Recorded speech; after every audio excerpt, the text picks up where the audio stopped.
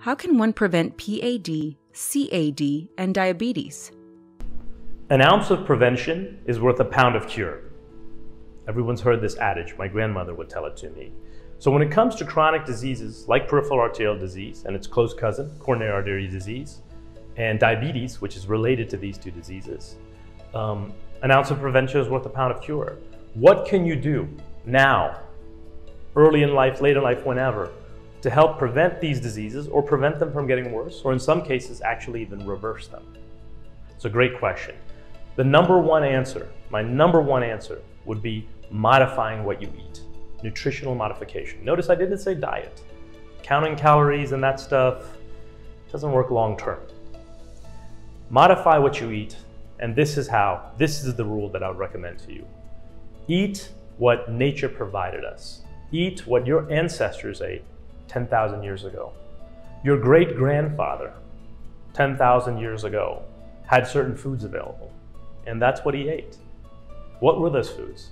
Meat, eggs, vegetables, and occasional seasonal fruit. That's it. He didn't have processed foods, right? You probably heard that term a lot. What does that mean, processed foods? Well, it means anything that nature doesn't give us. Nature gives us meat, eggs, vegetables, and fruit. Everything else in the grocery store that you see in boxes, uh, in packages, freeze dried, sliced up, um, that's all processed food. And taking that from its natural state to its processed state, it goes through a long kind of process at food manufacturers. Chemicals are added, things are done to it, things are changed to it. It's changed. So when you consume that, you're not consuming natural food. The body's not designed to handle those processed foods. So when you eat those processed food, things happen. And those things that happen long term are the things we're talking about. Diabetes, PAD, CAD, high cholesterol, high lipids, strokes. This is the number one thing you can do. Avoid processed foods, eat natural foods. Meat, eggs, vegetables, and occasional fruit. You know what that means? Sugar? No. No, no.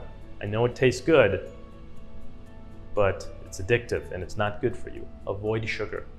Avoid processed carbohydrates. What do I mean? Bread, pasta, cookies, cakes, cupcakes, cereal, all that is terrible. Terrible stuff and it causes disease. Even avoid processed meats, right? Those deli sliced meats. That's not how meat comes in the real world. Steak, a fish fillet, a chicken breast, that's how it comes in nature. Those sliced meats are pretty far away from natural meat. So if you want a general rule to prevent chronic disease, diabetes, CAD, most of chronic disease these days, modify what you eat, and eat what nature provided us. Meat, eggs, vegetables, occasional fruit. Now, why am I saying occasional fruit? Isn't fruit okay? Can't we eat as much as we want? Yes and no. Think about your grandfather 10,000 years ago. Did he have fruit year round? He did not. He had it a few months out of the year. It was seasonal, right? And it wasn't as big and juicy and sweet as it is these days right? The fruit you see at the grocery store, you know, we get it year round now. It's by food manufacturers. They modify it to make it a little more red, a little more sweet, a little more bright. Again, nothing wrong with that. I'm not vilifying fruit. But our ancestors only had it in limited amounts for a few months out of the year. We should follow that. Don't go overboard with fruit. You can have it, don't go overboard. And if you have diabetes or you're obese, I would avoid fruit. I would avoid fruit. You don't want to spike your blood sugar and your insulin. If you're overweight or obese or have diabetes, I would stick to meat, eggs, and vegetables. If you're not those things, you can have some fruit, but you know, don't go crazy with it. So this is the number one thing you can do, modify what you eat to prevent these diseases, PAD, CAD, diabetes, uh, and, and or stop them from getting worse, and in many cases reverse them, okay? That's number one, nutritional modification, modify what you eat. Number two, don't smoke, and if you smoke, quit smoking. I know it's easier said than done. Do what you can, quit smoking. It's very harmful to your arteries and your body. Number three, uh, I would say activity. I used to say exercise, but I don't say exercise anymore because exercise, sometimes people get visions of like the biggest loser TV show, eight hours of brutal exercise all day long. And that's not really what you need to do. What did your ancestors do? They were active all day. They didn't sit at a desk for 10 hours and then sit on a couch and watch TV.